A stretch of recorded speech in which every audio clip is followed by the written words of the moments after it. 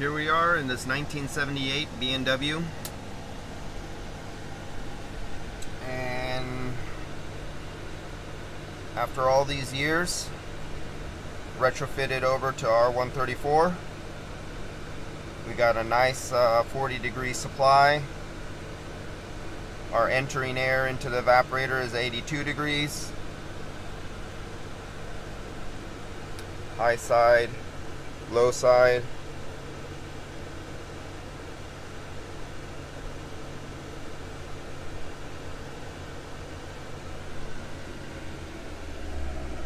And with 36,000 miles, this will be one happy customer.